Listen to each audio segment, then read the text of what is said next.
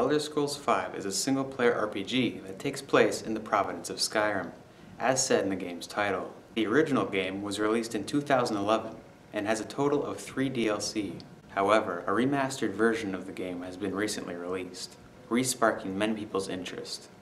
You start by creating your character. The game's in-depth settings allow extreme customization for in-game appearances by the use of sliders.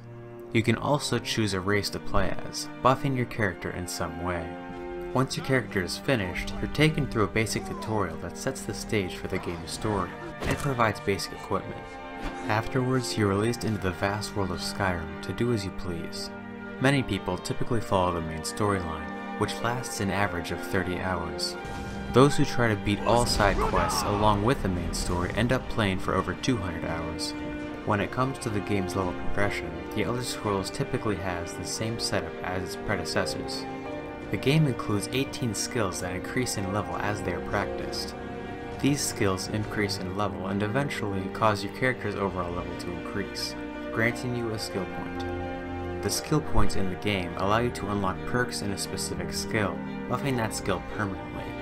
A total of 254 perks can be obtained in the game, many requiring multiple points to actually max out. There are three main playstyles the game offers, which are Mage, Warrior, and Archer. Each playstyle has their own advantages and disadvantages. These playstyles dictate the equipment, consumables, and skills that will ultimately be used, with few skills being neutral.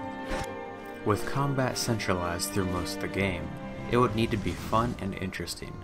Skyrim's combat is usually the same in many instances, and can eventually get boring and tedious. With archery and magic, enemy AI can easily be taken advantage of, simply by running through rugged terrain. The AI aren't able to jump or climb obstacles, and are only able to walk to their targets, making them poorly designed in certain instances. Skyrim is also very easy to mod. Simply placing files or downloading a mod manager will allow you to add more content to the game.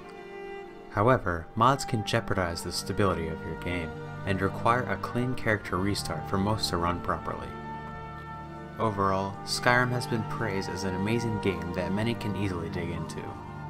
Since the statement is true, it's recommended to many people looking for a casual experience to try it.